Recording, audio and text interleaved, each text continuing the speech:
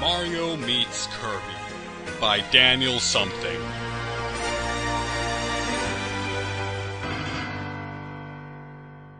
Well, as usual, Mario was traveling to Bowser's Fort and felt creepy about just going there and facing Boom Boom, and then working his way past Bowser's Fort into Wario's Woods. On the way, Mario got way off course and happened to stumble into Dreamland, where Kirby was facing Wispy Woods. And just when Wispy was almost defeated, Mario threw a hammer at him and Kirby won.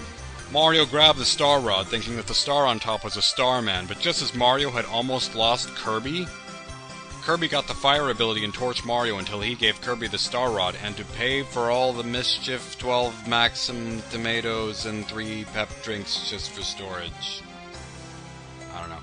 But Mario said, What are pep drinks and Maxim tomatoes? Kirby replied, What are pep drinks and Maxim tomatoes? What are you going to ask me next? What is candy?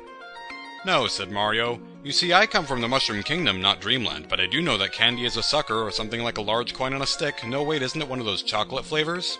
Oh, don't you understand anything here? No, said Mario.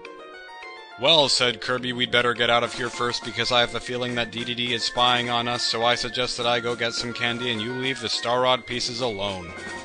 Then Mario and Kirby set off towards the place where they had first met, Vegetable Valley. Finally, Kirby and Mario had arrived in Vegetable Valley, and as they stopped for a rest, DDD came to the spot where they were napping and captured the two travelers. Kirby woke up and found out that he and Mario were tied up.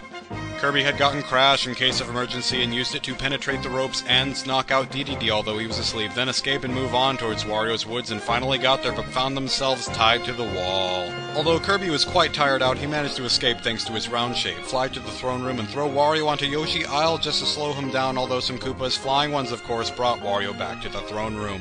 Kirby had been so busy trying to get rid of Wario that he had forgotten to free Mario and give him some of a Starman, which Kirby found lying around the floor and damaged Wario. As they fled, they met Yoshi. Kirby tried to kill him, but Mario said that Yoshi was a friend and was there to help them free Princess Toadstool. Yoshi asked Mario to hop on, and Kirby flew. Although Yoshi couldn't swim, he still got a blue Koopa shell and flew across most of the water. Then Yoshi left.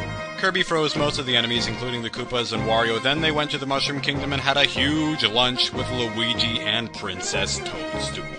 The end.